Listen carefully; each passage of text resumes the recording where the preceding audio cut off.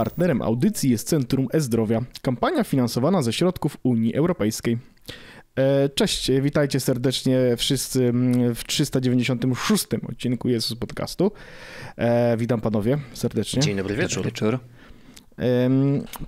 Słuchajcie, ten odcinek będzie y, wyjątkowy, bo mm, mamy gościa oczywiście na drugą część tak zwanego naszego tutaj, y, tej naszej audycji kochanej. E, natomiast y, zanim do tego dojdziemy i zanim będziemy o takich rzeczach rozmawiać, ja od razu z grubej rury, bo to jest tak, że mi się nie chce czekać, aż Andrzej w końcu zrobi. Andrzej, ja przychodzę prosto do tematu. Cześć mhm. Wójteczku, Bardzo ogóle, słusznie, cześć, oczywiście. Tak. Andrzej, powiedz mi jedną rzecz. Mhm. Czy... Przestań. Je czy jesteś szczęśliwy?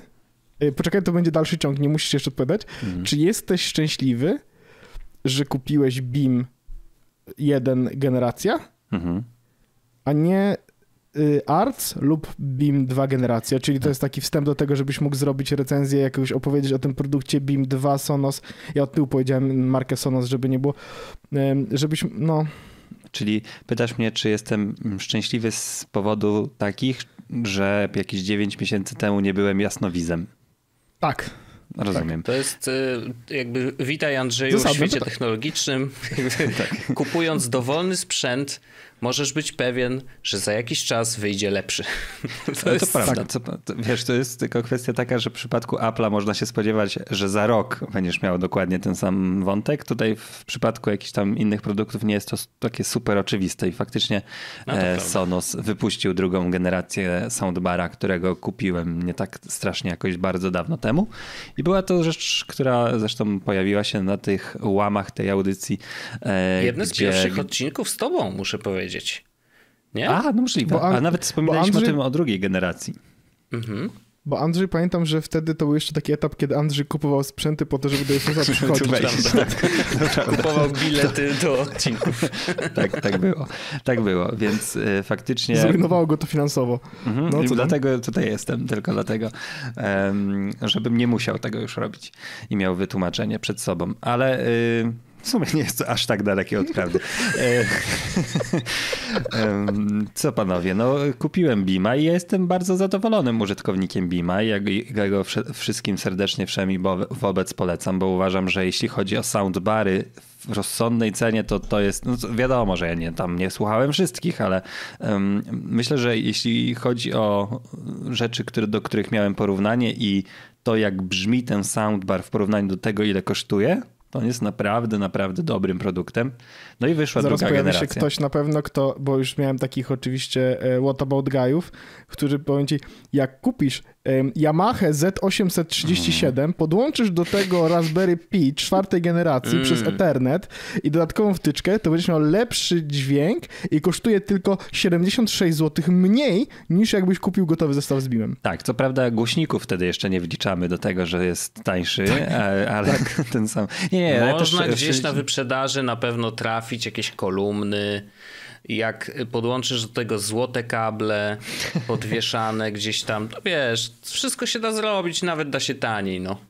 Ja, ja, nie ukrywam, że produkty Sonosa do, no, do najtańszych nie należą i nie należą też do y, produktów, które są audiofilskie, ale jest to technika i technologia użytkowa, którą ja najbardziej chyba lubię, bo Sonos Beam jest w ogóle niesamowity w tym, że on jest mały w porównaniu, on jest rozmiaru półtorej bagietki. Tak mniej więcej. Czyli w Polsce ma tak jakieś 26 centymetrów. Żartuję oczywiście. Okej, okay, to no, chciałem tak... powiedzieć, że Son Sonos Arc, tak w razie czego, dla no ten no tak ma rozmiar 2,5 bagietki. No, no 2,5 bagietki. Trzy bagiety. Ale zależy jaki bagiety? mówisz. Czy mówisz o, czy no. mówisz o długiej bagietce francuskiej, czy o tych krótkich półbagietkach? Nie no, francuskiej takiej. No to francuskie ma jakoś 2,5. No, to, to takie tak biedronkowe. nawet pewnie niecałe półtora bagietki. E, bardzo profesjonalne porównanie, ale wszyscy wiedzą o co chodzi przynajmniej. E, no, więc, więc to jest pod tym względem właśnie świetne, że on w takim małym opakowaniu zmieścił tak dużo. No i ta druga generacja y, wprowadziła się tym, że da, dała nam Dolby Atmos i te dodatkowe efekty związane z dźwiękiem przestrzennym. No ja faktycznie dostaliśmy e, tutaj bardzo miło, Sonos znowu nas potraktował tym, że dostaliśmy ten sprzęt do testów i ja faktycznie przez użytkownika, który przez kilka miesięcy y, miał i po prostu korzystał z, ja mam i korzystam z tych produktów po prostu, Oczywiście. jak każda dobra, y, dobra rekomendacja się zaczyna.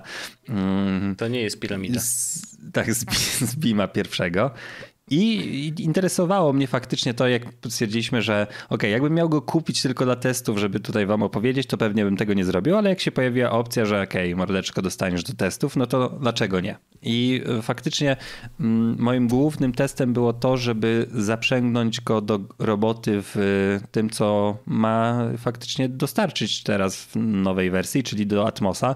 I e, bardzo to były przyjemne testy, bo sprawdzałem go na Tedzie Lasso, który jest w Atmosie nagrywany z tego co wiem, bo to jak, jak wszystkie te nowe, oryginalne produkcje Apple TV yy, i też puszczałem sobie jakieś tam rzeczy na, yy, i na YouTubie i na Netflixie, co, co było w Atmosie. A te YouTube'owe też, też Atmos... Nie, nie, nie, ale tak Aha. wiesz, to, tylko, że tak normalnego ogóle... użytkowania, nie? Jasne. Yy, żeby mieć jakieś chyba spektrum. w ogóle są stereo tylko. Tak, tak, tak. tak, tak. No ja, wiesz, to ja znając od środka y, system, no to tam wrzuca rzeczywiście plik y, z audio tylko, tylko w stereo i nawet mhm. on to przekompresowuje. Nawet jakbyś mu wrzucił pewnie 5.1, to on by ci to przemielił no. na, na, na 2.1.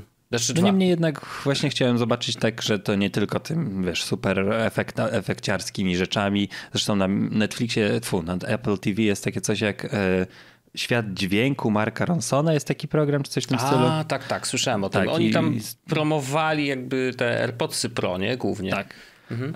Nie wiem tego, bo nie mam. E, tutaj niedługo być może jeden z naszych tutaj użytkowników będzie świetnym recenzentem tego, więc zapraszamy e, do słuchania tej audycji. Ale y, cóż, no fajnie to brzmi i faktycznie jest e, element dźwięku przestrzennego. Co Orzeszku byś chciał powiedzieć? Nie, nie, nie, mogę tego powiedzieć, bo to miała być niespodzianka, który z użytkowników, y, znaczy z który redaktorów jest z podcastu będzie miał AirPods jakieś. Mhm. I ja nie będę mówił nic więcej, no bo jakby... Rozumiem. Głupio by było e, tak od razu. Głupio by było się od razu tak, zdradzić, to że to prawda. ktoś. To prawda, tak no, jednak stopniujemy napięcie, kto coś kupi, komu czego w ogóle nie potrzebuje w tym podcaście. Tak. Mhm. Mm, no, ale to wracając do Ted Lasso, faktycznie było te wszystkie elementy przestrzennych dźwięków, bo tutaj też warty, warty disclaimer, że ja mam satelity, czyli to nie jest takie coś, no tak. że mi w, w, w całości zasy, zasymulował doświadczenie przestrzenności, czy tylko jeszcze miał do wsparcia satelity te Ikeowskie Sonosa. I mój, moja recenzja po naprawdę dość długim użytkowaniu jest taka, że jakbym miał kupować ten soundbar od zera, to na pewno bym kupił drugą generację, bo mam wrażenie, że na atmosowych rzeczach lepiej brzmi dźwięk przestrzenny w filmach szczególnie. Ale jeśli mam soundbar, z którego jestem bardzo zadowolony, czyli Beam 1, to opcja sprzedaży tego starego głośnika i kupowania nowego nie wydaje mi się rozsądnym pomysłem i tego po prostu nie zrobiłem. Nawet jakbym miał tam jakieś, e, jakieś zakombinował na zasadzie takiej, że komuś tam dobrze e, to sprzedał i założył, nie wiem, dwie, trzy stówy, to chyba po prostu nawet bym się tego nie chciało przede wszystkim robić. E, I to, to jest taki, taki ja test. Znam więc, ten ból. Tak, więc, więc y, fajne jest to doświadczenie i naprawdę BIM dowozi po raz kolejny świetne rzeczy, aczkolwiek jeśli ktoś ma soundbar, z którego jest zadowolony, albo e, co gorsza, albo lepsza z BIMa pierwszego i myśli, czy, e, czy warty jest upgrade do drugiego, to mniemam, że w większości przypadków to nie będzie aż taka e, potrzebna inwestycja. I to... u mnie jest na pewno taka, że no, no dwójeczka nie pojawi się w, w domu. No bo to też jest trochę tak, że wiesz, to, to jest tak charakterystyczny sprzęt, że, że to nie jest tak, że kupujesz wiesz, na każdą premierę nowy.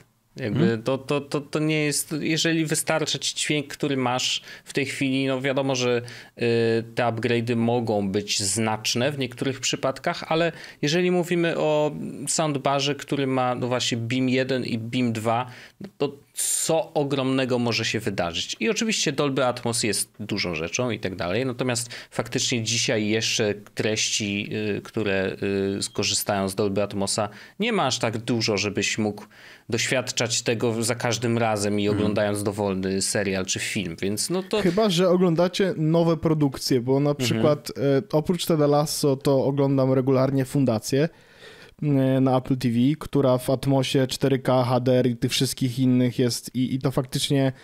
Ja w ogóle miałem tak, że pierwsze trzy odcinki Fundacji obejrzałem na iPadzie po, i AirPodsach po prostu wracając do domu pociągiem mhm. i na któryś w końcu z tych odcinków mówię, no dobra, no to jestem w domu no i jest piątek, godzina tam 17, e, wyszedł odcinek, to mogę sobie puścić na domowym w cudzysłowie kinie i to było coś. W sensie mhm. jakby tu czuć, to czuć już taką jakąś sporą różnicę, nie?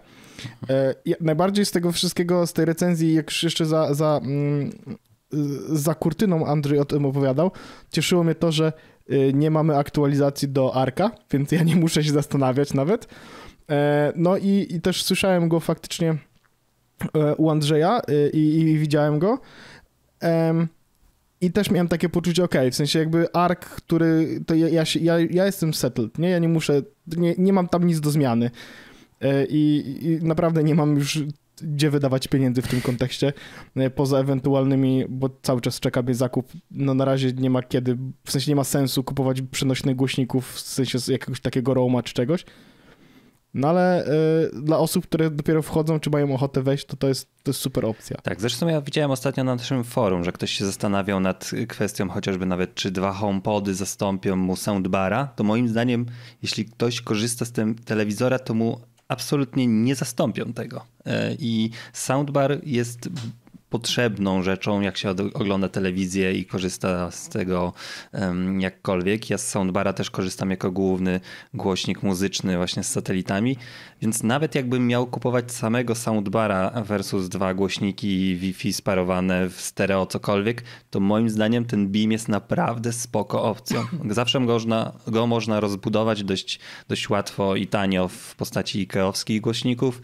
e, bądź też e, trochę już bardziej mm, powiedzmy modelowo w postaci łanów e, i to to jest całkiem ok rzecz, która jest bezprzewodowa, gra na AirPlayu, wszystko działa fajnie, więc moim zdaniem jest to dobry wybór, aczkolwiek też właśnie tutaj a propos dźwięku przestrzennego ja przypominam, że to, że nie ma Atmosa w pierwszej generacji, to nie znaczy, że ja nie słyszę z tyłu efektów. Nie, tylko no, po prostu one nie są tak fajne, mhm. tak czyste, tak y, dopasione i tak dalej. No, to też jest tak, przez... nie, nie, nie, jakby e, przy twoim układzie ten Atmos tak naprawdę, wiesz, no on próbuje symulować dźwięk mhm. przestrzenny, z czego tylko z przedniego głośnika, bo przecież z tyłu głośniki grają tak samo, jak grały do tej pory.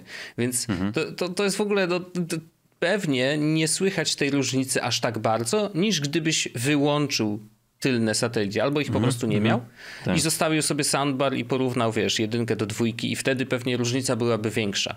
Ale, mm. ale przy takim układzie, no to wiesz, to tak, tak ten BIM dwójka nie za bardzo ma na czym tutaj, wiesz, zrobić mm. wrażenie.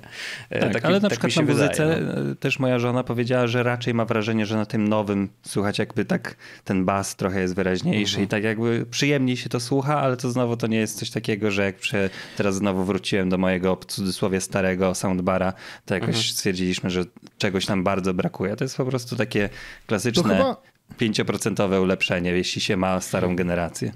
Ja bym powiedział, że to jest tak, że um, to jak testowaliśmy te różne setupy, to, um, to, to, refleksja była wtedy taka, że um, Beam versus Arc, Arc był, miał dużo bardziej, w sensie miał te ścieżki dźwiękowe dużo bardziej rozdzielone. To znaczy, że mhm. dźwięk głosu rozmowy był ewidentnie osobno od dźwięku y, tła czy coś takiego. I w BIMie w pierwszej generacji ta różnica nie jest aż taka widoczna, w sensie to jest ten, tak, że ten dźwięk czasami się zlewa, ale to nie jest problem, tylko po prostu tak jest. I mam wrażenie, że w drugiej generacji jest jakby tego trochę mniej. Że faktycznie on wtedy trochę bardziej to rozdziela w jakiś sposób, że ta ścieżka brzmi bardziej czysto, sam dźwięk który, ludzi, którzy mówią versus tło. Ale to już to, to jest naprawdę, jak już masz, to to jest mikroskopijna różnica i nie warta e, dopłacania, ale dla osób, które dopiero będą to robić, w sensie, mm. które chcą kupić, świetna opcja. Nie, nie, to, bo nie tak... trzeba autentycznie wydawać e, dużo pieniędzy, żeby mieć Atmosa. Tak, no bez zastanowienia, żeby tam szukać pierwszej generacji dla oszczędności, tam chyba jest różnica 400 zł, chyba wydaje mi się, albo 350, albo 400 zł, to moim zdaniem zdecydowanie warto dopłacić, jak się nie ma niczego. Mhm, albo mhm. szuka się. No naprawdę Beam to jest świetny soundbar podstawowy, którego ja będę rekomendował, y, bo, bo się dobrze sprawdza, bo jest mały, półtora bagietki, przypominam, i, i gra naprawdę spoko. A wracając jeszcze do tego, co powiedziałeś o tym mm, zastanawianiu się, czy, czy lepiej mieć soundbar, czy, czy lepiej sparować faktycznie dwa homepody i korzystać z nich, to mi się wydaje, że sparowa jakby sparowanie homepodów w parę stereo jakby hmm. oczywiście jest opcją i można to zrobić, nie ma problemu, ale moim zdaniem to jest trochę marnowanie potencjału tych, tych satelit, nie? No bo dzisiaj można kupić tylko HomePody mini, więc to są malutkie głośniczki. To jest I... w ogóle też straszną lipą, bo, no, bo już... nie nadają się do tego, Oczywiście. żeby zastąpić jakiś sensowny soundbar. No, no to, to, już pomijając. Natomiast wydaje mi się, że te satelity, jakby ich największą zaletą, poza oczywiście naprawdę spoko dźwiękiem, jest to, że są nieduże, i możesz się powciskać w różnych pokojach i zrobić z nich faktycznie taki multi-room, y, odtwarzacze do, do muzy, do całego domu, a nie stawiasz je przy, wiesz, dwa stawiasz przy telewizorze i jakby oba mhm. marnujesz na to, żeby one były tylko głośnikami. Tak. E, znaczy oczywiście tymi airplayowymi można z nich puścić muzę, nie ma żadnego problemu, ale no y, przywiązanie ich do salonu z telewizorem no to jest, wiesz, to chyba, że po prostu masz faktycznie jeden pokój tylko, nie, w domu. Kupisz sobie albo dwa pokoje, kupisz sobie trzy te głośniki i jeden jest e, w sypialni, a dwa są przy telewizorze. Ok, ale wydaje mi się, że to i tak lepiej przy telewizorach faktycznie sprawdza się głośnik, który jest do telewizora podpięty e, kabelkiem, mhm. bo też ważne jest to, że wtedy jakby dźwięk idzie ze wszystkiego, bez opóźnienia. tak? Jakby bez mhm. ograniczeń i to nie jest tak, że musisz mieć Apple TV, żeby puścić na te dwa głośniki, bla, bla, bla, no bo nie każdy ogląda rzeczy tylko na Apple TV. No ja mhm. tak akurat mam, ale jestem jednym z niewielu pewnie, tak. e, więc, więc rzeczywiście... Do... Ściszasz sobie, zgłaśniasz pilotem do telewizora, Jasne. wszystko w jednym tak, miejscu, nie? Tak, to, to jest tak też, to, to wiecie, to jakbym miał teraz, ja bym oszalał, gdybym miał teraz telefonem ściszać i tak dalej. Znaczy nie, no ja prawda jest taka, że wiesz, normalnie normalnie, jeżeli słuchasz przez Apple TV, to masz pilot do Apple TV i, A, o, i nim też możesz podgłaśniać, ściszać i tam wszystko mhm. jest, także nie ma problemu, ale... Ja ale pamiętam no tak. takie czasy, ostatnio sobie do tego wróciłem mentalnie, jak słuchałem, e, oglądałem filmy na dźwięku z telewizora. Mhm. No, to, ja to pamiętam, jeszcze cię ból. znam z takich czasów. To było straszne, jak sobie teraz... W sensie inaczej, to widzisz bo, mój, bo ten telewizor ma całkiem ok dźwięk i faktycznie jak sobie z niego po prostu... Poczekaj, jak, jak oglądasz sobie na nim filmy, to to jest ok. Jakby takie, wiesz, puścisz sobie Netflix czy cokolwiek, ale jak zaczynasz robić takie rzeczy, gdzie faktycznie jest jakieś 5.1 i, i, i jakiś taki w cudzysłowie sensowny zestaw, to to nabiera zupełnie innego po prostu podejścia. Teraz nie mam potrzeby chodzenia do kina, bo ja mogę sobie bębenki y, potłuc y, w domu własnym. Mm. Kurczę, no, dowolny soundbar kupiony za 500 zł zrobi różnicę na versus głośniki od telewizora. Tutaj myślę, że nie ma żadnej wątpliwości. A soundbar, który daje radę po prostu, no to później nie ma, nie ma powrotu. No to to już jest jak, tak. jak, jak z iPhone'em. To, co jest, tak, to, to, to, co jest fajne w Sonosie, to ja jeszcze tylko powiem, że... Yy, bo, bo, dużo jest tłuczenia się o to, że nie, ale y, aplikacja jest super. W sensie, ja akurat nie mhm. jestem aż takim częstym użytkownikiem, jak mógłbym być, dlatego że mam jeszcze HomePody w domu, e, ale, ale jest to jakaś opcja, żeby kiedyś jakby przejść full Sonos, ale jest fajne jest to, że na przykład Pocket Cast można sobie spiąć z Sonosem. Mhm. E, Audible, Audible, żeby sobie słuchać audiobooków w całym... W sensie, można oczywiście z telefonu zrobić SharePlay, AirPlayem, tam AirPlay 2.0 i wyszerować. Ja tak robię w większości wypadków, jeśli chcę muzykę w całym domu ale super jest to, że aplikacja Sonosowa nie jest gówniana, bo jest naprawdę niezła i ma te wszystkie fajne integracje, nie? Właśnie chciałem jeszcze, o, dobrze że powiedziałeś to, tylko że z tego, z tego co wiem nie ma na Androidzie, ale ten cały TruePlay, który jest po prostu chodzisz po domu i machasz mhm. iPhone'em w dźwięk taki latających, e, dźwięku latającego po wszystkich głośnikach, to jest olbrzymia różnica, którą ja też właśnie świadomie w sensie, robiłem że testy. one się dostosowują tam. Tak, te... tak bo możesz ręcznie wybrać, jak są. daleko od, y, od ciebie są głośniki dźwięku przestrzennego, nie? Tam jest mhm. od, od 60 do 60 centymetrów, od 60 do 3 metrów i powyżej 3 metrów, nie? I to, to ustawienie, jak zmieniasz ręcznie, jest ewidentnie słychać, jaki jest efekt za twoim uchem, nie? A jak robisz TruePlay, to się w ogóle wyłącza ta opcja, bo to ona już po prostu wie, gdzie te, gdzie te twoje głośniki są. Mhm. I nie potrzebuje takiej informacji i dostosowuje się do swojego pokoju. To, I to naprawdę daje znaczącą, znaczącą różnicę i jest to tylko w iOSie, jeśli chodzi o aplikację Sonosa. Mhm. Okej, okay. spoko, bardzo, bardzo to jest y, fajne. No, HomePody się dostosowują same, w sensie, że tam nie potrzebują e, dodatkowo, ale to też jest coś innego, no bo to tutaj mówimy o dźwięku przestrzennym, HomePody to po prostu, wiesz, no kulka, która gra, e, więc, więc trochę e, mniej skomplikowane to jest, ale też jakby no, teoretycznie według tego, co mówili na konferencjach, e, wysyła dźwięki, sprawdza, czy jest echo i jak daleko jest od ścian i jak ten dźwięk mhm. się odbija i tak dalej, i tak dalej. No to, to, to jest, jest podobne. Zresztą dużo teraz sprzętów grających stara się samo się poprawiać, nie? Hmm. Tak jak AirPodsy nowe, te trójeczki przecież um, też mają ten AirPodsy Pro, to mają hmm. i tak mhm. dalej, i tak dalej. Hmm. A w ogóle ostatnio poczułem pierwszy raz, co to jest Spatial Audio na Ej. AirPodsach Pro. Oglądałem okay. transmisję z meczu na słuchawkach i Scanner Plus y, online jest coś takiego. Zresztą e, myślę, że do After Darka zapraszam wszystkich, bo mm. mam recenzję TheOffice.pl, dla którego kupiłem właśnie te Kanal Plusa. No ale jako, że miałem, to obejrzałem mecz i to było coś takiego, że odwróciłem głowę i mówię, okej, okay, Cały, cały komentarz jest w prawym uchu teraz. Mhm. Okej, okay, teraz jest w lewym. I wciąż nie widzę żadnego zastosowania e, w takich przypadkach. Oprócz tego, że to było dziwne, e, bo to tak jakby komentator siedział boczkiem do mnie albo przodem. E, ale było to ciekawe doświadczenie, już wiem przynajmniej o co Orzechowi chodzi. To jest fajniejsze, o Jezus, przepraszam bardzo, to jest fajniejsze chyba w muzyce, w takim kontekście, że mm, jak puścisz sobie piosenkę, to on z racji tego, jak masz Dolby Atmos i tak dalej, tak to on układa e, tych e, jakby grajków w konkretnych miejscach, to znaczy słyszysz gitara, że jest bardziej po lewej, wokalista na środku, bas po prawej hmm. i to robi wrażenie wtedy, kiedy zaczynasz ruszać wtedy głową i wtedy oni są dalej w tych samych miejscach, w których byli, nie? Hmm. Tylko, że słuchanie tej muzyki w ten sposób jest też turbo męczące, no bo y, wiesz, jak, jak idę z telefonem w kieszeni, to ja bym chciał, żeby muzyka była generalnie station, stationary do, do pewnego stopnia, w sensie oczywiście fajnie, że Dolby Atmos i to mi gra w głowie, ale wolałbym, żeby nie było tak, że jak odwrócę się w prawo, czy sprawdzić, żeby, czy jedzie samochód, czy cokolwiek, to nagle mi wszystko przeskakuje z jednego ucha do drugiego, nie?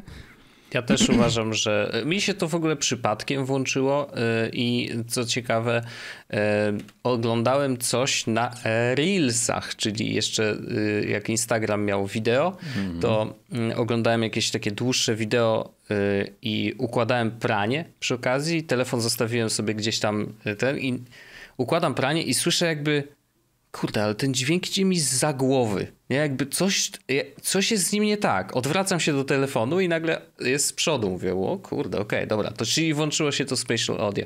No i jakby, no to dla mnie to jest gimmick. Zupełnie jakby nie czuję tego i, i uważam, że właśnie słuchawki dokanałowe i w ogóle jakiekolwiek douszne i nauszne ich zastosowaniem jest to, żeby właśnie nie było zmiany przy poruszaniu głowy. Bo ja często się zdarza, że nie wiem, oglądamy serial na telewizorze i ja łażę po, po pokoju, nie? Bo coś tam tu sobie naleję wodę, tu coś, ale właśnie dzięki temu, że mam słuchawki w uszach, to ja mam cały czas konstant dźwięki. Ja tego oczekuję, nie? Więc y, to, że nagle mi będzie, ja się będę obracał, a ten dźwięk mi będzie cały czas przyczepiony do telewizora, to to jest coś, czego ja nie, nie chcę. To nie jest fajne. To jest, to jest zły pomysł. E, ale może rzeczywiście w muzyce, gdzie masz, gdzie masz rozłożonych tych, y, tych grajków, jak powiedziałeś, e, w różnych miejscach, no ale to wtedy mam usiąść na fotelu, mieć telefon przed sobą, nacisnąć play i siedzieć i słuchać i ewentualnie obracać głową, jakoś sobie tego nie wyobrażam. Tak jak marzenie wszystkich audiofili, że masz spokój, spokój specjalny, mhm. wyciszony, wiesz, z dywanami specjalnymi i właśnie złotymi I kablami. I masz te takie małe moment. pchełki, wtykasz sobie tak. do uszu i słuchasz Wtedy oni muzyki. się tak wci wciskają te pchełki, aż krew pocieknie z uszu. dokładnie, dokładnie. No, to, także, no nie wiem, może, może nasi słuchacze mają jakieś zastosowanie dla spatial audio, o którym my nie pomyśleliśmy i które może być na przykład e, całkiem spoko. Mm, no nie wiem, wyobrażam sobie, no bo to, to nawet się... To myślę sobie o takich, wiesz, na przykład film horror nie? Gdzie mm -hmm. coś tam wyskakuje z za mhm. mm -hmm. albo wyskakuje, mm -hmm. ale to, to samo można uzyskać po prostu dźwiękiem przestrzennym i tyle, a nie, że spatial, nie? że jakby ja tu obracam głowę czy nie obracam głowy. Więc no naprawdę to jest rzecz, która strasznie trudno mi jest wymyślić o, o, o co kaman i, i po co to jest. Słuchajcie, mm, panowie, ja myślę, że możemy zrobić też tak, że w tym momencie y, E, zaprosimy naszych słuchaczy na e, rozmowę z e, bardzo fajną rozmowę z ekspertem na temat właśnie mojej IKP oraz internetowego konta pacjenta. To jest dobra rozmowa. Tak, Bo żeśmy, dobra, żeśmy ją przeprowadzili już wcześniej, żeby było jasne. E, ale myślę, że naprawdę to jest fajna rozmowa, więc zachęcamy. E, dużo, dużo ciekawych rzeczy i też muszę powiedzieć, że jestem zaskoczony, że Krzysztof aż tak dużo zdradził planów, mm -hmm. co, co, co, co w przyszłości jeszcze w tym tak. moje IKP się znajdzie, więc e, myślę, Zagra mi na nosie, posłuchać. więc to też warto zobaczyć i usłyszeć. To prawda. To prawda. Rzeczywiście. Także zapraszamy do, do, do, do rozmowy i oczywiście słyszymy się za sekundkę. Dzień dobry wszystkim e, i mamy dzisiaj specjalnego gościa w Jesus Podcast e, i gościem jest e, pan Krzysztof. Krzysztofie, przedstaw się, powiedz czym się zajmujesz, co robisz i dlaczego rozmawiamy. Cześć, dzień dobry, witam wszystkich, witam również słuchaczy. Nazywam się Krzysztof Napora, pracuję w Centrum E-Zdrowia i jestem product ownerem e, takich dwóch e, ciekawych rozwiązań, o, które być, o których być może słyszeliście już. Jedno nazywa się internetowe konto pacjenta, a drugie od niedawna aplikacja, która również jest częścią internetowego konta pacjenta i nazywa się moje IKP. No i tutaj faktycznie można powiedzieć, że na moich barkach leży kwestia tego, co tam się znajduje, w jaki sposób wrzucamy tam te wszystkie e, funkcjonalności, które się na nim znajdują e, oraz e, no, generalnie cały proces produkcji. Mhm. A, to, a, czyli jesteś product ownerem. A um, jakie inne projekty wcześniej y, robiłeś? Y, czy, czy masz coś na koncie takiego dużego, y, czym możesz się pochwalić? Wiecie co, no, wcześniej tak naprawdę tam można powiedzieć, że moją karierę rozpoczynałem w firmie doradczej. To były to zazwyczaj jakieś tematy związane z procesami biznesowymi i tak naprawdę rozwiązaniami e, po to, żeby klientom było łatwiej e, i żeby e, no, tak naprawdę też zmieniali swoje cyfrowe procesy na, na, na formę cyfrową. Od jakiegoś, no dokładnie tak naprawdę od połowy kwietnia 2012 roku pracuję w CEZie. Wcześniej to było CSIOZ, czyli Centrum Systemów Informacyjnych Ochrony Zdrowia. E, I tam pełniłem rolę zastępcy kierownika projektu, odpowiedzialnego właśnie między innymi za procesy. E, a w związku z tym, że z procesami e, był związany wykonawca, który robił frontend, te wszystkie formatki i sposób wyświetlania, no to akurat tutaj miałem możliwość po pierwsze nadzorowania go i pomocy, żeby to wszystko zaczęło sobie działać, ale istotniejszą rzeczą było to, że miałem możliwość udziału no, w ponad 150 spotkaniach z interesariuszami. I te, ci interesariusze to byli tak naprawdę no, zupełnie, zupełnie różne, e, różne osoby, zupełnie różne stowarzyszenia, począwszy od pacjentów, poprzez lekarzy, e, farmaceutów, pielęgniarki, ratowników medycznych, agencje badawcze, agencje rządowe, tak naprawdę każdy miał swój interes w tym, żeby do tego e, zdrowia coś dorzucić, ale również, żeby z tego zdrowia coś wyciągnąć. E, I można powiedzieć, że te no, trzy lata pierwsze spędzone na, na tych spotkaniach i na ustawianiach tych wszystkich procesów, zastanawiania się, co tak naprawdę ten system zdrowia może dać, no to był taki klucz. E, potem z różnych przyczyn na chwilę odszedłem z z centrum. Przeniosłem się z kolei do banku, pracowałem w banku w PKO BP, gdzie tam też pomagaliśmy, akurat tutaj wspieraliśmy biznes w tym, żeby procesy z, zelektronizować, żeby przeprowadzić transformację cyfrową. No i powiem szczerze, że taką ciekawością zawsze dosyć mocno przy, przyglądałem się również aplikacjom bankowym, które no, od samego początku zauważyłem, że mają jakiś tam wspólny potencjał ze zdrowiem, ponieważ są to transakcje, tam akurat pieniężne, a w zdrowiu są to transakcje dokumentowe, ewentualnie kwestia styczności naszej z systemem ochrony zdrowia. No i y, no, ciekawe, ciekawe to były rozwiązania. Wtedy tak naprawdę te, cała bankowość elektroniczna powstawała i y, też w kontekście aplikacji mobilnej były to no, pierwsze, pierwsze aplikacje, które też pomagały robić y, przelewy, czy później tak naprawdę pokazywać, jak można fajnie usługi scyfryzować i nie, nie musieć biegać do tutaj tak naprawdę do banku, do oddziału, żeby coś załatwić. No i Myślę, że tak, no to mniej więcej 3 lata trwało i no, po tym okresie czasu wróciłem do Cezu. Wróciłem do Cezu. E, zaczę, zaczęto tak naprawdę też e, podchodzić trochę inaczej tutaj w samym centrum, samej administracji do realizacji projektu tego głównego centralnego, skupiając się bardziej na usługach niż produktach, które muszą być wytworzone. No i tak naprawdę w tym czasie powstała e, elektroniczna recepta pierwsza wersja internetowego konta pacjenta, której też tutaj miałem udział. To było dokładnie 7 maja 2018 roku, więc no już zobaczcie, to już ponad 3 lata tak naprawdę. No i, i, wszyscy jesteśmy beneficjentami tego, że faktycznie.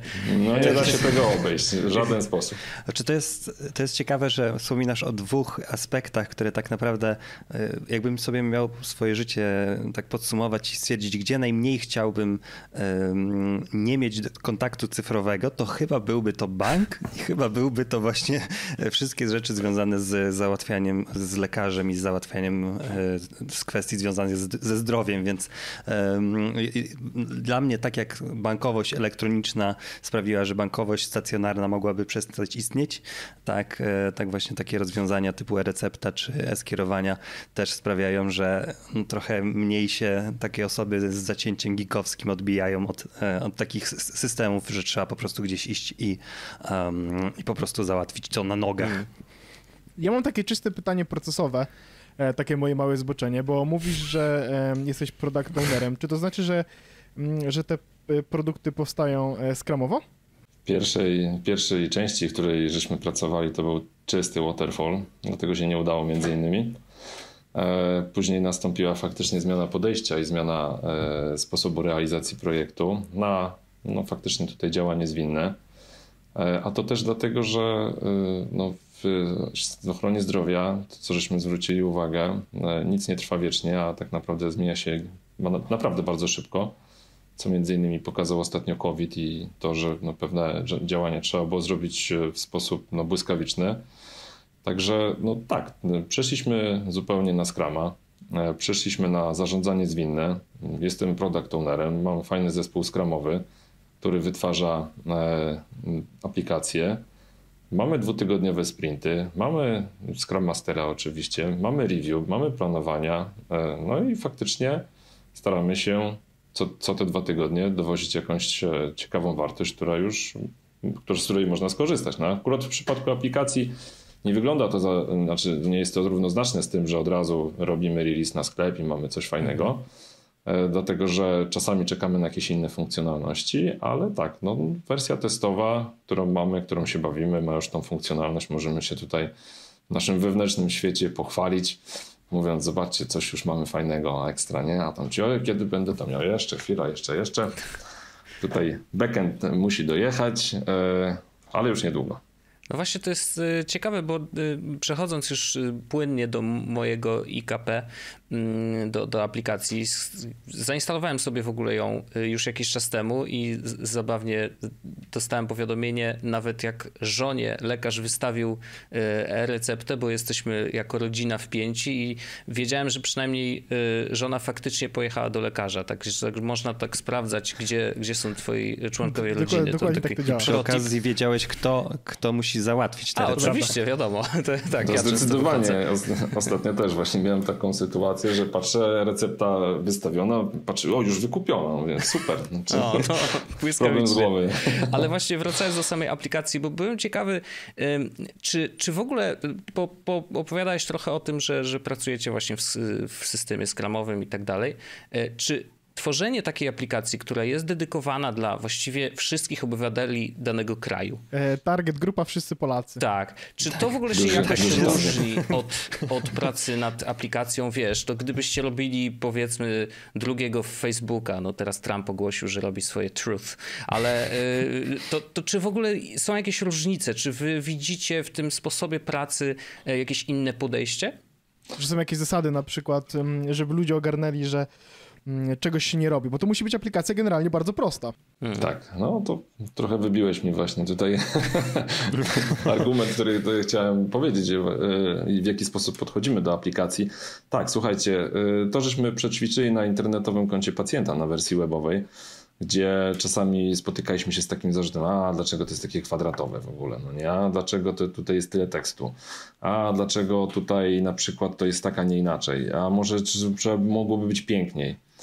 E, no, to jest właśnie głównie powód tego, że robimy e, aplikacje, które są dla mm, całego społeczeństwa. Można powiedzieć, że tutaj to jest akurat społeczeństwo 16, prawda? Bo tutaj no tak. w kontekście ochrony mhm. zdrowia e, no, wcześniej, wcześniej tymi dokumentami zarządzają rodzice czy opiekunowie prawni. No ale później już, później już sami sobie z tym musimy radzić. I tak naprawdę też to, co pokazał nam COVID i szczepienia, no jest różne podejście do, e, do, do tego, w jaki sposób wykorzystywać procesy. Młodzi ludzie wezmą sobie telefon, dla nich można wsadzić wszystko, co jest znane, na przykład właśnie z Facebooka, między innymi z YouTube'a, z aplikacji, które są wykorzystywane po prostu na bieżąco i do jeden. na przykład. Nie? Hamburger menu, no. tak. No. E, na przykład, e, ale jeżeli chodzi o osoby starsze, to też nam tutaj pokazało doświadczenie, takie osoby korzystają częściej z infolinii albo po prostu wręcz idą do lekarza. No, wszyscy pamiętamy te kolejki, które w telewizji były pokazywane, że od drugiej w nocy ktoś stał do, e, do lekarza. I to było tak naprawdę przedział 75, więc to, to fajnie pokazało, jak jest, jaka jest, jakie jest podejście do technologii. No i my tak naprawdę bardzo mocno żeśmy to obserwowali. Też z założenia mieliśmy po swojej stronie zrobione wcześniej, że ta aplikacja, no, ten najwyższy target będzie nam ciężko osiągnąć, bo jednak te 75 plus to są często osoby, które są w ogóle no, niechętne do tej technologii. E, ewentualnie coś by się musiało naprawdę niezwykłego wydarzyć, żeby, żeby zaczęły z niej korzystać. Przyznam szczerze, że COVID akurat był taką e, opcją i, i sporo ludzi powyżej 70 roku życia, jak się okazało, że mogą się zaszczepić, e, zapisać na szczepienie za pomocą właśnie między innymi aplikacji mobilnej, czy, e, czy poprzez zalogowanie się na jakąś stronę, zamiast stać bez sensu, no to albo z tego zaczyna korzystać, albo prosi osobę trochę młodszą, bliską jakąś mhm. o to, żeby, żeby komuś pomóc. E, I teraz wracając tutaj do, do waszego pytania, po pierwsze WCAG.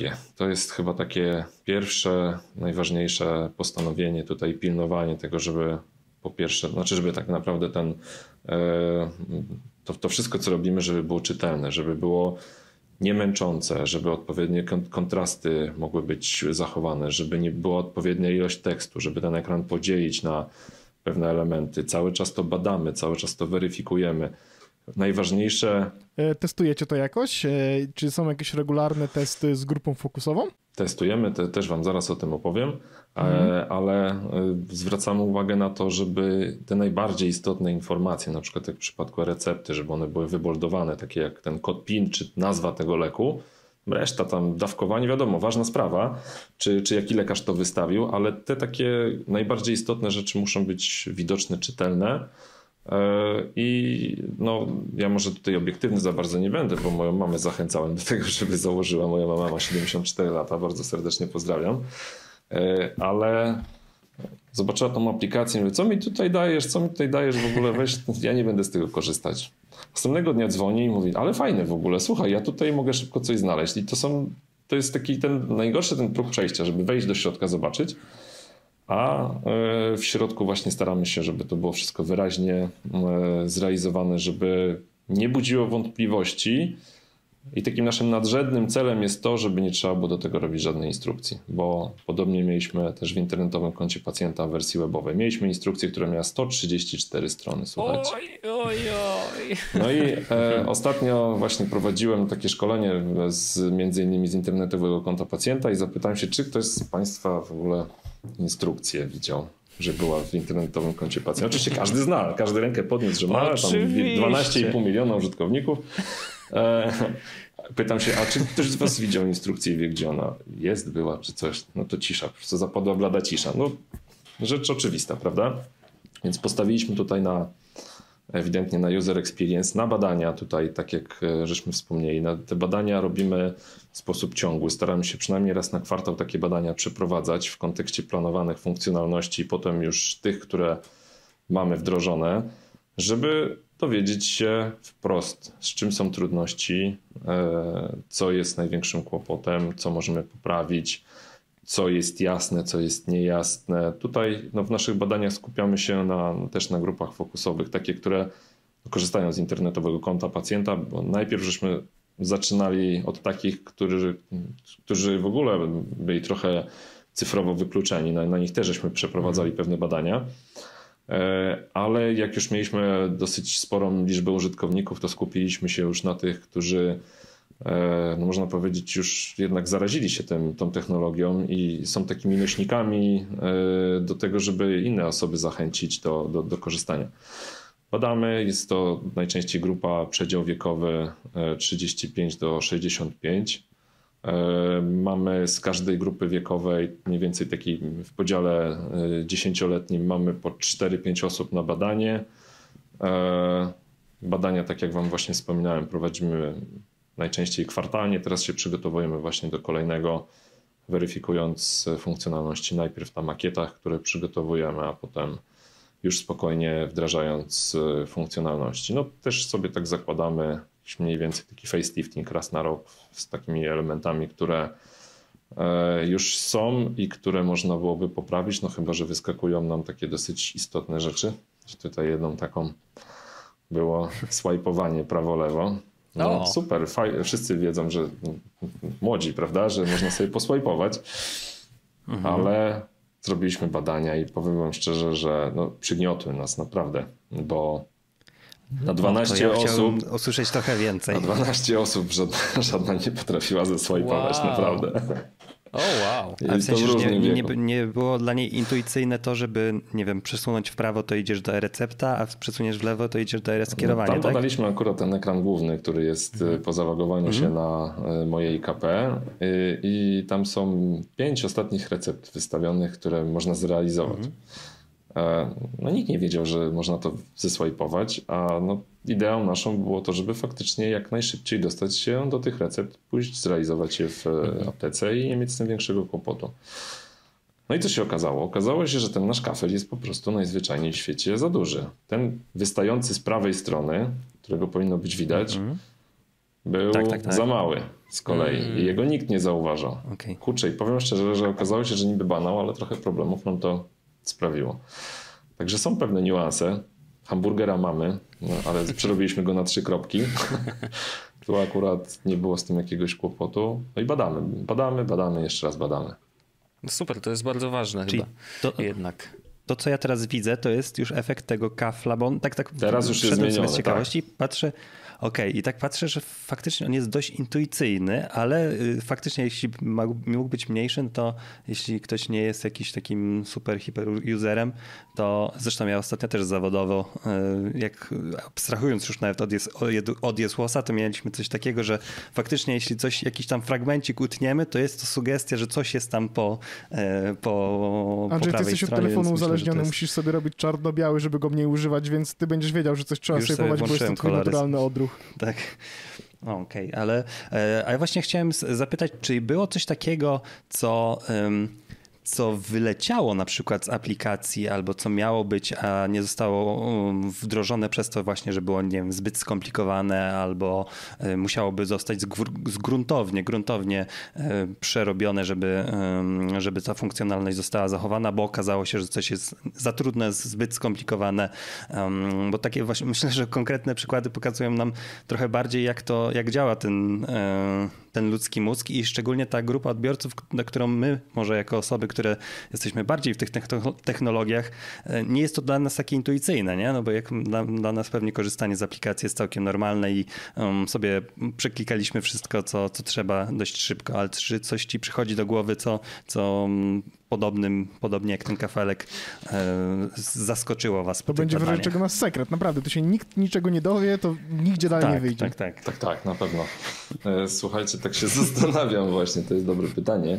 E, bardziej, znaczy chyba w kontekście frontendu to wydaje mi się, że nie mieliśmy takiego, mm, nie mieliśmy tutaj takich zapędów, które chcemy zrobić po to, żeby coś działało, a tego się nie da.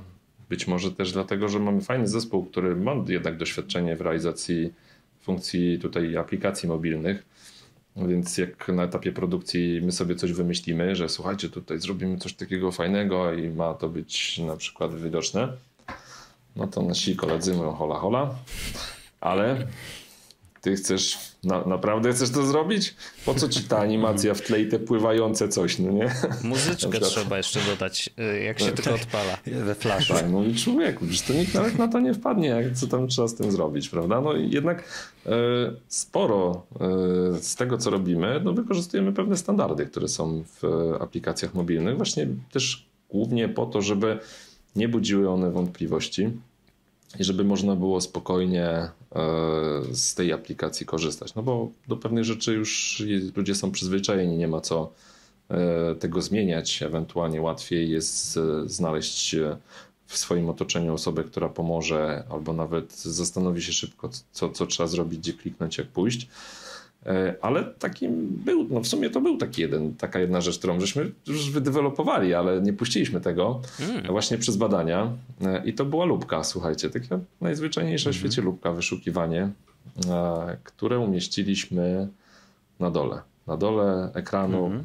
czasami widać taką pod palc, pod kciukiem, prawda, z prawej strony. W ogóle super nam ta lubka pasowała, ekstra. Ona, jak się zjeżdżało ekranem w dół, to ona się wtedy wysuwała i w ogóle można było super fajne rzeczy robić. No badania nam wprost pokazały, że ludzie tego nie rozumieją kompletnie, więc lubka zawędrowała sobie na pasek górny, mhm. jest tam statyczna yy, i no i chyba spełnia wszystkie funkcje, bo później nie było do niej już żadnych uwag. Także no, no tak, tak z tą lubką domyślnie mieliśmy... faktycznie w większości aplikacji, jak tak się zastanowię, to rzeczywiście szukajki są zwykle na górze, e, więc może faktycznie no, badania wam po prostu pokazały, że to jest już taki standard e, od wielu lat i w wielu aplikacjach został i pewnie dlatego trzeba było jednak już nie kombinować i faktycznie zostawić e, jak w innych, nie? Znaczy nasze kombinowanie często właśnie sprowadza się później do tego, że no jednak standard jest bardziej intuicyjny. To jest coś, co ludzie znają, zmiana pewnych przekonań są trudniejsze później do tego, żeby jakąś funkcjonalność się e, nauczyć. A z naszej perspektywy, biorąc pod uwagę, że to zdrowie nasze jest dosyć młode, można powiedzieć, że tak naprawdę wystartowało 3 lata temu, no to bardziej skupiamy się na tym, żeby ludzie się zapoznali z funkcjonalnościami w ogóle i z użytecznością samych dokumentów medycznych, tym co można z nimi zrobić, a nie to w jaki sposób się do nich dostać, prawda? To powinno być dla nich naturalne i w tym kierunku cały czas idziemy. Mhm. E, czy możesz nam zdradzić coś po cichu? Nie powiemy nikomu, spokojnie. E, co szykujecie w najbliższym czasie? E, co pojawi się w mojej IKP? Bo w tej chwili jakby mamy dostęp rzeczywiście do e-recept e, i do e-skierowań na, na, na badania. I czy, czego możemy się ewentualnie spodziewać w samej aplikacji? Tak a propos jeszcze tylko interfejsów i frontendu, to ja chciałem powiedzieć, że ja mam oczywiście zainstalowane moje IKP na telefonie, e, ale moim ulubionym interfejsem e, otrzymywania recept to jest SMS. E, a, jednak. A pusza nie chcesz? Bo to dlatego, że nie dostaję SMS od nikogo oprócz banku, ubezpieczyciela i recept. Okay. Więc jak widzę, że mam jakieś trzy nieprzeczytane wiadomości, to wiem, że to są prawdopodobnie trzy recepty. Nie ukrywam, że to jest mój ulubiony interfejs te SMS. E, wiesz co, słuchaj, no trochę cię do tego pusza będę chciał przekonać jedną rzeczą, bo to też on nie jest przypadkowy. E, w puszu zawarliśmy kod QR. Mhm. Jak sobie dostaniesz taką, takiego pusza tak naprawdę i przytrzymasz sobie palcem, e, no to nie, nie musisz no, PESEL-u powiedzieć. Badania też nam pokazały, że od momentu otrzymania recepty do jej wykupienia naj, najczęściej mija do 15 minut. I to wow. jest 80% przypadków, prawda? Wow. Więc y, no co, wychodzisz od lekarza i masz SMS-a, tak? Y, no idziesz do apteki, do SMS-a dostajesz swój czterocyfrowy kod PIN, musisz powiedzieć swój PESEL, napisać go, no niektórzy no, nie chcą za bardzo na głos mhm. podawać, a pani aptekarka jeszcze czasami się, ale co tutaj proszę się nie martwić, czy tu nikt nie będzie słyszał. Mhm. No nie powinno się tego robić. Zdecydowanie też wszystkimi, którymi rozmawiamy, mówimy, napiszcie sobie na kartce, na głos PESEL-u się podawać nie powinno.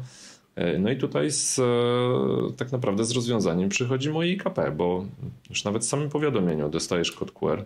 No on właśnie jest nieprzypadkowo w powiadomieniu, dlatego żeby nawet nie wchodząc do aplikacji, możesz sobie to powiadomienie otworzyć, dać telefon pani do okienka, ona sobie weźmie, zeskanuje swoim skanerem e, kod QR i będzie miała dostęp do recepty, nic więcej nie trzeba. Także no, trochę mnie to przekonuje, trochę, trochę. No, myślę, że tutaj staramy fajne technologie wykorzystywać. No. A ten stare SMS-y używa jak dziadek. No. Ja też jestem trochę zszokowany, że przy takim moim korzystaniu z technologii to ja uwielbiam dostawać z mojej IKP SMS-y. Um, ale jakoś tak, e, no nie mam włączonych powiadomień w ogóle e, na mojej IKP. E, czyli jednak włączyć, no, tak? No chyba jest, może tak. Wiesz co, tak, to ja ci powiem, ustawienia, powiadomienia, moje IKP włącz. I to jest, to jest gotowa recepta. włączyć? E-recepta nawet. No poza tym, no już też trochę zdradzę właśnie, że te powiadomienia będziemy rozbudowywać, dlatego że samo dostanie, e, samo dostanie dokumentu, no to jest jedna rzecz bardzo, bardzo istotna oczywiście, no ale jak już mamy pacjentów, którzy się skupiają wokół e, pewnej społeczności użytkowników e, aplikacji mobilnej, no to wydaje nam się, że jednak system ochrony zdrowia powinien coś od siebie dorzucić dla takich użytkowników. To nie powinna być sama informacja. Oczywiście też nie chcemy przegiąć z puszami, bo tutaj świetnie pokazujesz e, nam to, co, co też żeśmy się spodziewali, co też widzimy w innych aplikacjach, czyli za dużo to jednak jest e, no, niezdrowo. Nie, niezdrowo. tak, co za dużo to niezdrowo. Tak. E, I też na pewno będziemy chcieli dać możliwość no, wyboru kategorii powiadomień, które mojej KP będzie wysyłało. A mamy w zanadrzu dosyć sporo ze, związanego z profilaktyką. To jest coś, co jest naszą, też naszym celem tutaj, żeby zacząć mimo wszystko no, lepiej zapobiegać niż leczyć, jak to się mówi. E, I przekazywać pewne informacje też oczywiście nie w za, dużym, nie za dużej ilości, e, ale między innymi na przykład analizując dane i wiedząc, że masz 20, powiedzmy, nie wiem, 1 lat, E, i jesteś mężczyzną, prawda, no to fajnie, zobacz, tutaj są jakieś tam w twojej okolicy programy profilaktyczne, zdrowotne, które zaktywizują cię na przykład do zdrowego trybu życia, które pozwolą na przykład pogadać sobie na temat, czy palenie jest zdrowe, czy nie, prawda, albo e, jak podchodzić do kwestii dotyczącej nie wiem, alkoholu, używek, na co zwrócić uwagę, kiedy zwrócić uwagę bardziej, prawda? Czyli te takie rzeczy, gdzie no, bardziej informacje celowane w, Twoim kierunku.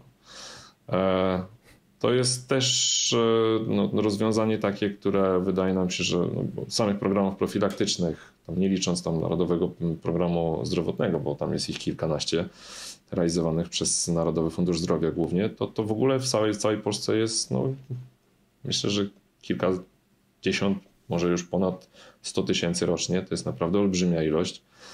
E, I to są programy realizowane przez e, różne podmioty, e, gdzie mm, no, one w tym momencie zaczynają być sprawozdawane. Jest taki system, Państwowy Zakład Higieny realizuje profibazę, tam wrzucają właśnie ci, ci którzy realizują, te, tworzą te programy profilaktyczne, wrzucają informacje, że takie programy są, co można dzięki nim osiągnąć, w jaki sposób się zapisać, jaki jest cel, co na samym końcu człowiek otrzyma i taki, taki zestaw informacji chcemy przekazywać, po prostu też jako powiadomienie. Słuchaj, w twojej okolicy jest coś takiego i takiego, prawda? Może ci to pomoże.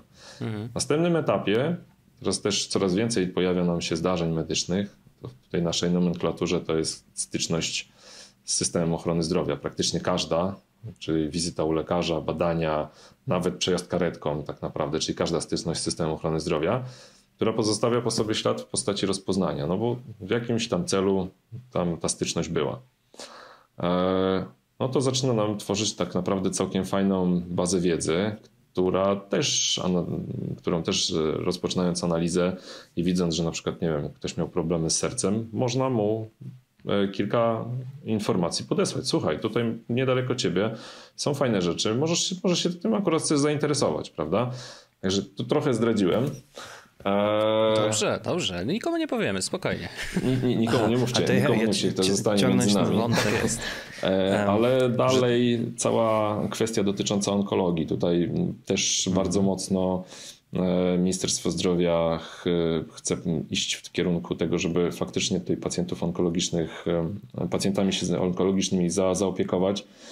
Też w kontekście profilaktyki umożliwić właśnie czy badania przesiewowe, czy pewne weryfikacje i też informować ich o tym, że słuchajcie, no to jest ważne, no ale żeby wam nie było za trudno, bo wiadomo, człowiek jest zazwyczaj leniwy, a już w ogóle w czasie pandemii to nie wychodzimy często w ogóle z domu to i siedzimy... W tym tygodniu nie wyszedłem ani razu, dziękuję. No, no, więc właśnie, zamawiamy jedzenie, w ogóle nie ruszamy się, siedzimy przy komputerze, czy tam nawet po prostu sobie spacerujemy z pokoju do łazienki, e, to, e, no to, to, to, to żeby nie, nie szukać daleko, to wy, wy, chcemy wysyłać też taką informację. Zobacz, no tutaj, nie wiem, no to może ten, ten kilometr też jednak przejedziesz, prawda? Mhm. Bo gdzieś w ośrodku zdrowia jest coś takiego, co, co możecie zainteresować. Więc e, też to jest coś, co będziemy chcieli włączyć. System powinien być gotowy do tego gdzieś na koniec roku. Myślę, że to jeszcze jest kwestia pewnych koncepcji, e, samych informacji, tego w jaki sposób i jak to wysyłać. No i będziemy działać. To ja mam tutaj pytanie też o pewne zdradzenie sekretów przyszłości. Czy w e, aplikacji moje IKP jest szansa, że będę miał swoją kartę EKUS, czy kartę EKUS jednak po, powinienem mieć w wersji fizycznej jak kartę bankomatową? To ja cię pytam. Nie, nie będziesz miał karty EKUS. Nie jesteś usatysfakcjonowany pewnie. No, znaczy mam ją fizycznie, no ale to no przynajmniej wiem, czego się spodziewać. Nie będziesz miał karty EKUS, ale będziesz miał certyfikat zastępujący kartę EKUS. O, szachmat. Pozamiatane. Już tak stwierdziłem, okej, okay, już e- stwierdziłem, okej, okay, to pytanie będziemy musieli wyciąć. Nie. Nie, e, tak naprawdę to jest jeszcze na etapie koncepcji. E, to jest koncepcja, która jest bardzo mocno już w tym momencie osadzona w ramach czasowych te ramy czasowe też pozwólcie, że ja nie będę wam obiecywał, że to zostanie zrobione no nie, dzisiaj, no jutro. wiemy, czy... jak to działa, jasne. Dlatego, że no, COVID, nam, też udowadnia, COVID nam się rozpędza, trzecia, trzecia dawka nam się zrobiła, no teraz tak. potem może kolejna. Są pewne mm. rzeczy i elementy, które jest, tak, no, jednak tak. są priorytetowe. I te priorytety u nas się często zmieniają, stąd właśnie zwinne podejście do takich funkcjonalności. W szczególności, no EKUS nie jest jakąś tam funkcjonalnością krytyczną, ale tak, mm. certyfikat zastępujący EKUS to jest w ogóle coś takiego, bo dlaczego nie karta EKUS? To jest pierwsze, mm. pierwsza zasadnicza rzecz. Karta EKUS musi być fizyczna, to musi być plastik, mm. bo tak mówi rozporządzenie Unii Europejskiej po prostu. Okay. Mm. Więc Jakbyśmy ją wsadzili w telefon, co już dawno temu się ludzie pytali, czemu wam obywatelu nie ma karty EKUS. No bo nie można. Po prostu nie można. Jakbyśmy ją wsadzili w telefon, to żadne państwo Unii Europejskiej by po prostu tego nie honorowało, więc nic by nam to nie dało. Mhm. Możemy sobie równie dobrze zrobić i zdjęcie, też będzie to prawdopodobnie niewystarczające. Natomiast certyfikat jest to dokument elektroniczny, który jest wystawiony przez Narodowy Fundusz Zdrowia i którego można zawnioskować, będąc za granicą. To jest jego chyba hmm. największy, największa zaleta. E, I no, możemy sobie wyobrazić, że no, kurczę, z różnych powodów zapomnieliśmy tej karty, o tą kartę zawnioskować, wyjeżdżamy za granicę, no i co teraz, co teraz, prawda? Mhm. Najczęściej E, z tego, co mi wiadomo, jest szansa na to, żeby później uzyskać rozliczenie, ale no jest to. Mm, Musisz zapłacić wtedy po prostu na miejscu. Trzeba, trzeba tak. zapłacić. Się...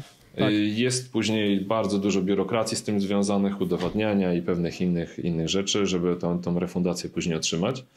Natomiast tutaj e, chcielibyśmy dążyć do tego, żeby taki certyfikat faktycznie można było wygenerować. Tym certyfikatem podzielić się już tymi funkcjonalnościami, które mamy, czyli po prostu zwykłego share'a, nie wiem, na maila, na mhm. bluetoothem, nie wiem, komunikatorem jakimś innym, wysłać taki certyfikat, który jest podpisany przez NFZ do jednostki, do placówki, w której będziemy się leczyć. No i mamy tak naprawdę sprawę załatwioną. Mhm. Gdzieś tam celujemy pierwszą połowę przyszłego roku z tą funkcjonalnością. O, no Czyli będzie na wakacje, można pojechać i normalnie zapomnieć karty EKUS.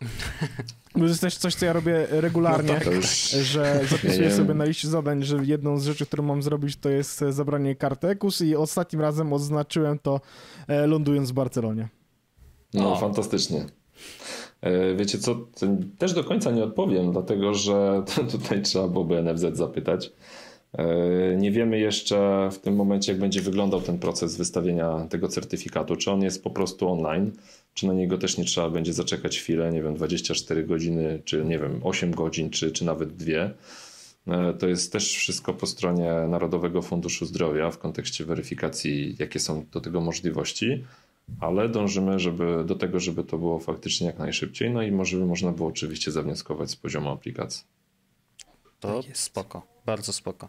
Ja właśnie jeszcze jedno, y, pewnie już na koniec y, pytanie mm, dotyczące y, tego, bo powiedziałeś o tym, że mm, na przykład w przypadku tych poinformowywania nas o różnych na przykład projektach profilaktycznych, że coś się dzieje w naszej okolicy, możemy gdzieś wskoczyć. Powiedziałeś o tym, że analizujecie dane o nas, no co jest oczywiste.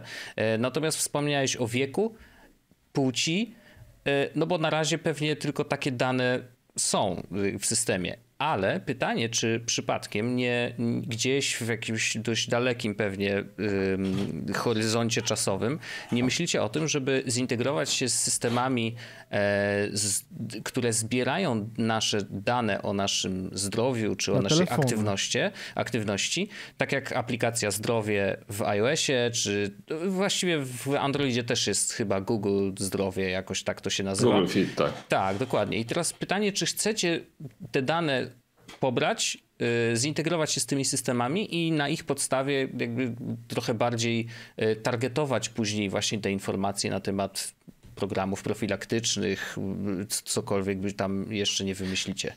Paweł wyjdź z domu. Tak, za dwa lata aplikacja mojej KP wyśle im powiadomienie, że nie ruszyłem się od tygodnia z domu i powinienem tak. się wziąć 35 do roboty. kroków dziennie to mała średnia. Co, e, Może nie wiem, czy akurat w tym kierunku pójdziemy, bo też nie chcemy robić wielkiego brata. Tutaj słusznie, może prawdopodobnie wypunktowałeś mnie w kontekście tego, że te dane analizujemy. E, ale nie analizujemy na przykład geolokalizacji, bo mhm. nie mamy zamiaru tego ustawiać. E, różne jest podejście do aplikacji rządowych e, i no nie chcemy tutaj w żaden sposób dawać jakikolwiek sposób do zrozumienia, czy nie wiem, czy ty, tymi danymi jakoś będziemy zarządzać albo coś nimi robić, mhm. prawda? Tutaj akurat w kontekście tego mojej bliskiej okolicy chcemy analizować po prostu zwykłe dane teleadresowe, które ktoś sobie wpisuje na internetowe konto pacjenta i tyle. No jasne, On po prostu jasne. gdzie zamieszkuje i nie będziemy go śledzić, że tam jest teraz tu czy tam gdzieś indziej. E, ale patrząc dalej na element dotyczący no, wszystkich IoT, prawda, które to nie, nie jest tylko i wyłącznie też kwestia kroków czy, czy tam snu, ale również e, między innymi w zeszłym roku uruchomiony został projekt Pulsoker, prawda? Mhm. Czyli kwestia nasycenia tlenem krwi, czy, czy teraz stetoskop, fajny zegarek właśnie też. tak, właśnie po to kupiłem zegarek, żeby móc sprawdzać, czy jeszcze żyję i oddycham. To jak będziesz miał poniżej 95, to w razie czego wiesz, dzwoń tam na infolinię i i mów, że... Kupiłeś zegarek za 2000 zł, żeby nie kupować pulsometru za 49. Tak, ale no takie rzeczy są wysyłane automatycznie. Ten, ten pulsoksymetr był e, faktycznie, znaczy z tego co wiem, dalej funkcjonuje oczywiście mhm. program.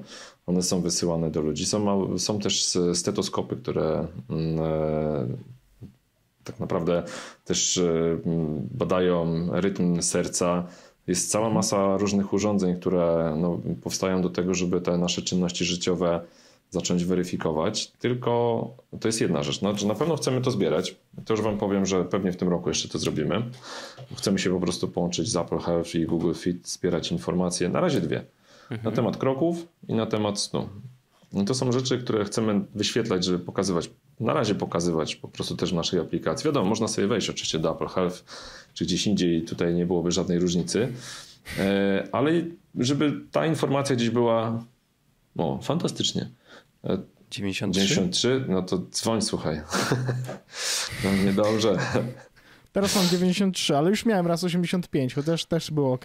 Chcemy, żeby ta informacja e, najpierw była prezentowana, być może też kwestia kroków, które przechodzimy, żeby z tygodnia na tydzień dostać jakąś informację, że no, słuchaj, w tym tygodniu to jednak się lenisz, to może dałbyś radę. A jednak, e, będzie bat. Coś tam zrobić. Nie, nie, nie, nie. To raczej taka autosugestia, no wiem, prawda? Że jak ja widzę, to, to, to, to coś tam się z tym dzieje, ale to jest bardzo istotna rzecz, bo samo pokazanie danych to jest jedna rzecz, ale system ochrony zdrowia, tak jak ja sobie to wyobrażam, tak jak żeśmy rozmawiali tutaj też między innymi z, z ministrem Niedzielskim, to jest to, żeby te dane faktycznie mi pomogły. Czyli nie na zasadzie ja mam tutaj tyle i tyle kroków, tylko na podstawie tych danych ja mogę wysnuć jakieś, e, no, e, jakąś tezę i wysłać takie powiadomienie, które, z którego no, mogę skorzystać, które dam już mi jakąś tam, jakąś tam konkretną poradę. E, powiem szczerze, że to jest na razie w fazie zupełnych koncepcji. Jest mało takich rozwiązań w ogóle na świecie, które sugerują, że coś trzeba byłoby zrobić. To jest taka trochę nieformalna wiedza, która sobie między użytkownikami krąży. Mit między innymi 10 tysięcy kroków wcale się nie wziął z mhm, tego, że ktoś mhm, przechodzi 10 mhm. tysięcy kroków, no to, to w ogóle będzie zdrowy. Nie, to, to, to jest jakaś tam ściema. E, tutaj ważne są inne czynniki i tak naprawdę też e, angażując pewną wiedzę, którą chcielibyśmy zebrać, która byłaby w stanie przeanalizować e, te dane, Chcielibyśmy faktycznie jako system ochrony zdrowia nad nimi pracować, ale z jednej strony pokazywać pewne informacje pacjentowi, to jest jedna rzecz, ale druga, bardziej istotna, która myślę, że z perspektywy systemu ochrony zdrowia byłaby bardziej cenna, to jest przekazanie tego, co, jaki jest tryb życia i jak wygląda funkcjonowanie mojemu lekarzowi POZ. Dokładnie, no jasne. Dlatego, że no, on wie, co się ze mną dzieje, on jest w stanie wpłynąć na mnie, też porozmawiać, powiedzieć mi, e, jak ja powinienem funkcjonować, czy być może coś zmienić. No, na pewno nie będzie dzwonił do mnie co tydzień, panie Krzysztofie, a pan się nie wyspał, proszę ten dzwonienie, no nie, ja tutaj wypiszę. Nie, nie, nie, tak, tak na pewno nie będzie. E, bo to wszystko to jest e, no, moim zdaniem głęboka psychologia i też e, kwestia przekonania kogoś, że inwestycja w mhm. swoje zdrowie jest faktycznie opłacalna. No, chyba najbardziej opłacalna inwestycja, jaką można zrobić, tak naprawdę. Eee, I trzeba ją zacząć w odpowiednim momencie, nie no, czekać zbyt długo. Jasne, że tak. Jasne, że tak. E, no dobrze, to dużo się dowiedzieliśmy, ciekawych rzeczy. E, o mojej IKP i, i, o twojej historii i o tym, jak, e, jak tam się dzieją e, rzeczy w, w, przy tworzeniu właśnie tak. i całego systemu tak naprawdę, no bo aplikacja jest tylko, tylko pokazaniem, jakimś tam ostatnim końcóweczką, która trafia do nas, a tak naprawdę pod spodem tu dzieje się bardzo dużo, więc dziękujemy za to, że nam trochę o tym poopowiadałeś. No i co, możemy tylko trzymać kciuki, bo tak naprawdę to jest ciekawe, że mm, cyfryzacja generalnie postępująca, y, szczególnie właśnie tego typu usług y, czy urzędów, to jest coś, co dotyka nas wszystkich i coś, co czemu wszyscy musimy kibicować. To jest naprawdę, bo tylko w ten sposób będziemy w stanie e, żyć trochę łatwiej, mniej odwiedzać urzędy, e, czy mniej odwiedzać e, właśnie ostatecznie lekarzy pewnie też. Trochę mniej papieru się zmarnuje na, na drukowanie recept i tak dalej, i tak dalej. To jest po prostu same plusy, więc, więc na maksa kibicujemy, trzymamy kciuki, żeby to postępowało dalej. No, tak. Więc zachęcamy też do pobrania naturalnie Oczywiście. aplikacji ze swojego sklepu. I włączenia powiadomień. Bardzo ja zrobiłem to. krótkim czasie wyjdzie wersja 2.0, tam się trochę pozmienia. To już jeszcze mogę tyle powiedzieć, że będziemy mieć dwa, dwa kafle na dole. Jeden to będzie zdrowie, drugi będzie profilaktyka i, i pewną funkcją, która już jest, na razie też nie zdradzę, zobaczycie jak wyjdzie nowa wersja zaczniemy kuć profilaktykę, bo uważamy, że faktycznie warto inwestować w zdrowie. Jasne. Super. Zobaczymy. Na pewno, na pewno zobaczymy, jak to będzie wyglądać. Dziękujemy bardzo, Krzysztofie. Wszystkiego dobrego i słyszymy się następnym razem może. Zobaczymy. Super. Dzięki wielkie. Zapraszamy przed wersją e, na przykład 3.0. O, to będzie dobry moment, Jesteś, dokładnie. Jesteśmy umówieni, słuchajcie. Jasne. Dzięki i do no. usłyszenia. Dzięki. Dzięki i dziękujemy bardzo serdecznie, że byliście z nami w tej rozmowie. Słuchajcie, to będzie koniec naszego odcinka. My mhm. oczywiście słyszymy się z naszymi patronami w After Darku. Tak jest. E, jeśli nie jesteście naszymi patronami, to oczywiście serdecznie zapraszamy do tego, żebyście byli. Mm, ja mogę zrobić coś takiego, że jeśli będziecie i dołączycie teraz, to e, zrobię tak, żeby e, wszyscy byli zadowoleni. Mm, więc no to taki wiesz. Tak jest. Ja zachęcam też oczywiście do pobrania aplikacji mojej KP bo to jest dobra aplikacja tak. i, war- i przydatna. Ja mam Może już ten, y, masz powiadomienia włączone, czy ten? Czy tak, włączyłem, po, włączyłem, powi- włączyłem powiadomienia, więc, y, więc przynajmniej, y, przynajmniej tyle dobrze. Tak jest. I y, no co, słyszymy się w takiej sytuacji y, za tydzień lub za chwilę. Tak jest. Tak jest, a za chwilę o serialach. Mhm. I by the way, e, jeszcze tylko dla przypomnienia, że ten odcinek był zrealizowany z Centrum E-Zdrowia i kampania została sfinansowana ze środków Unii Europejskiej. Dziękujemy oczywiście. Bardzo dziękujemy. I cóż, do usłyszenia za tydzień. Pa. Pa. pa. Jest Podcast o technologii z wąsem.